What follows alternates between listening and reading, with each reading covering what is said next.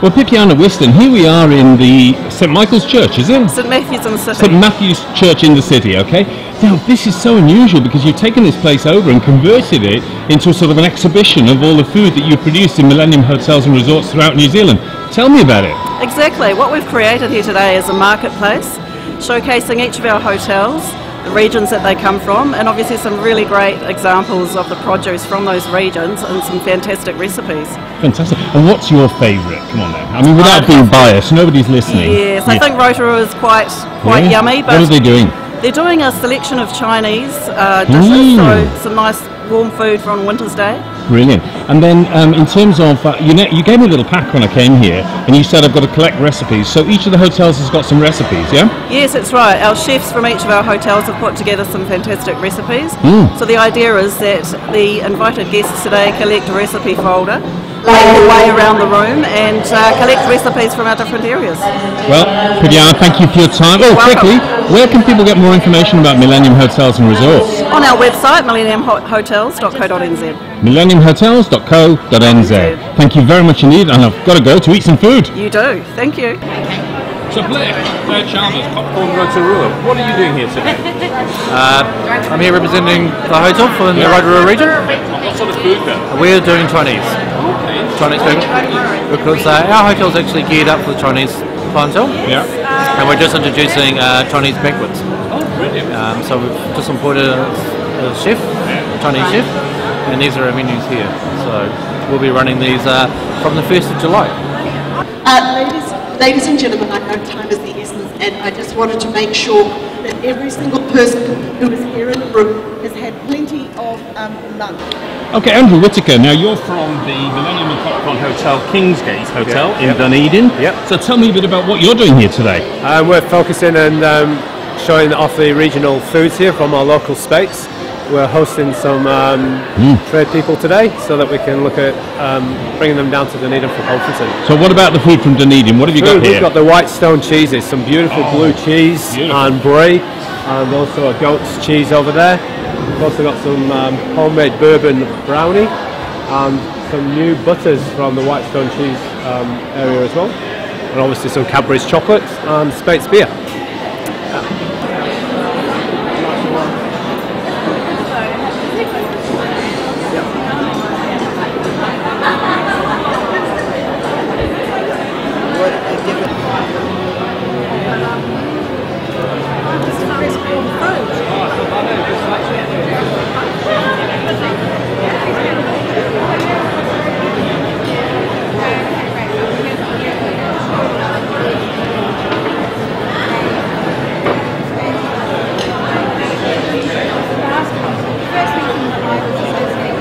Murray Cook, now you're from Kingsgate Hotel Hamilton. What have you got here today for us? Uh, we've got some uh, lamb backstrap with Mm. beautiful uh, mint and beetroot chutney on top of it.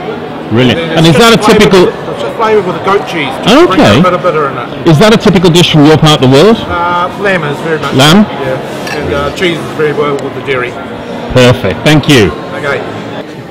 Hey there, Tim. So you're Tim Reynolds. You're Copthorne Hotel, Auckland Harbour City, and you're here with your colleague there.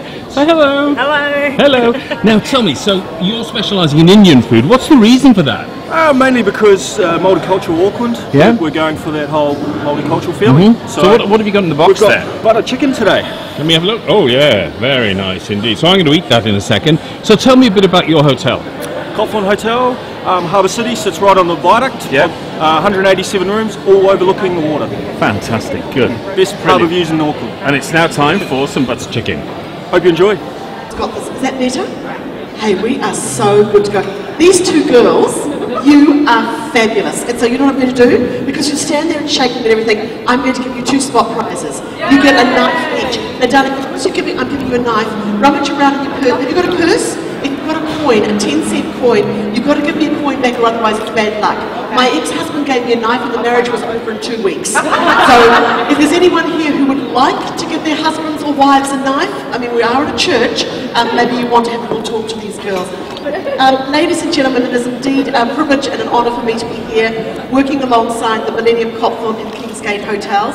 Um, we've, we've got some fantastic culinary expertise here at the hotel. Um, Mr. Chu, Mr. Chu, please, BK. Mr. Chu, please wave your hand in the air. This man is the big boss at Millennium, and he, in actual fact, is so passionate about good food. He has designed Copthorne prawns, and if you go up to him and wink at him, ladies, he will give you the secret recipe which he uses for his VIP guests when you have uh, conferences and incentives in his hotel. Um, I'm feeling. What is that, sweetheart? I have to tell you, it's possibly me. I have so many surges of power that in actual fact I create an ever-ready battery um, problem. I think to here. I, I just, oh, that's so much better. Ladies and gentlemen, we are the Hudson Halls of the food business, but we're not gay, are we, Painted? Now, where are you normally? What hotel are you normally? Upton Upland City.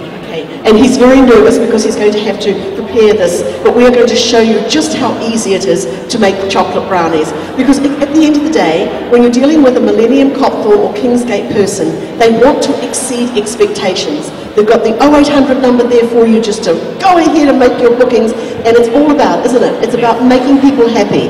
And if you want an out-of-body experience, you need to go and see Ken Orr over there at Wellington to try that beef Wellington. It is stunning. And your butter chicken is way up there as well too, I've got to say. I'm impressed. Okay, this is how easy it is. Are we ready? All your names go into that basket there that the lovely Alison is holding above her head like she's about to wear it as a hat. All your names go in there and you are in to win one of my classic cookbooks. Now the Jazz Bar Brownie was made for us by the, all the team down in Queenstown. Queenstown people, could you please wave your hands?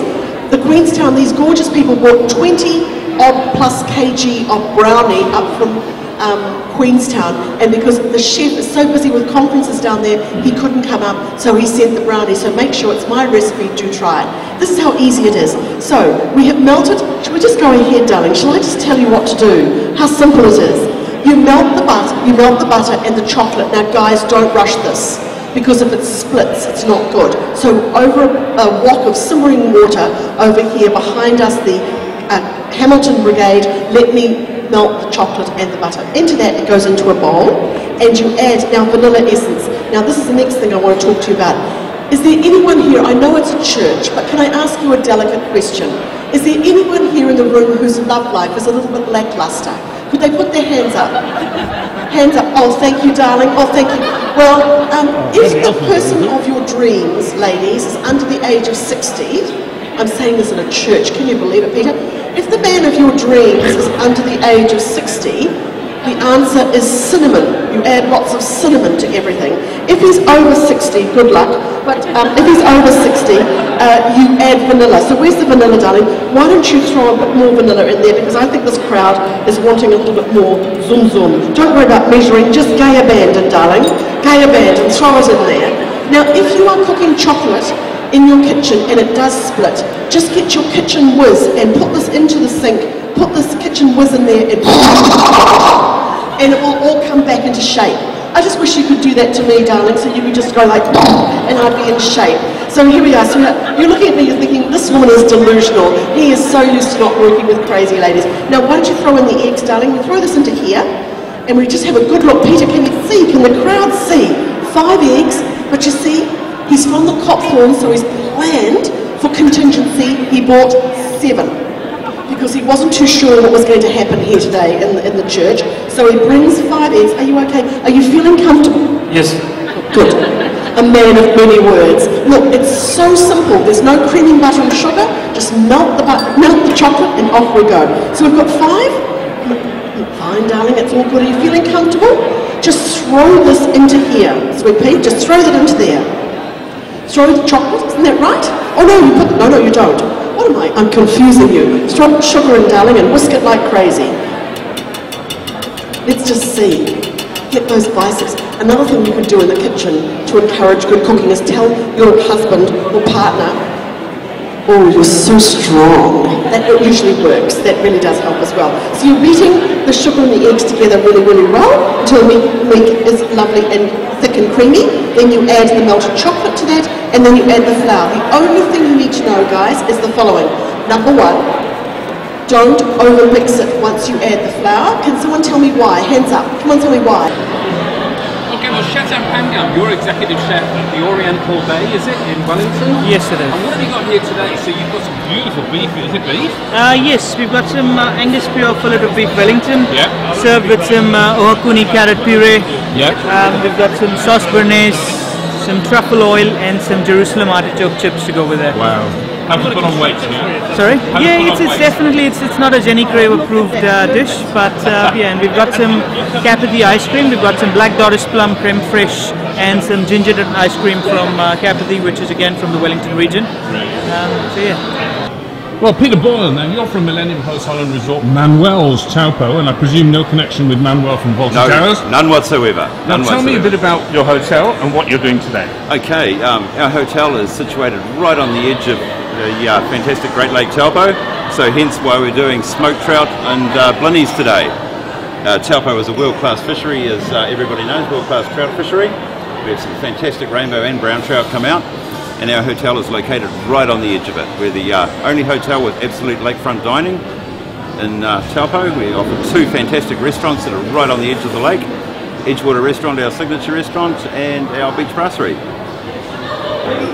Okay, Pip Lloyd, now then, you're from Copthorne Hotels and Resorts, Hokianga. That's exactly Did I get it right? You did indeed. Now, you've got chowder here, a blinking big container of chowder. So tell me what's special about this chowder? What's special about it is, is it's actually from the Bay of Islands. Mm. Bay of Islands chef prepared it for today. Yeah. But it's special. It's got beautiful Northland seafood in it, uh, fresh fish. We like to use smoked fish. Um, it has mussels, it has shrimps, and it's just a beautiful, thick winter chowder. I better try some. Indeed.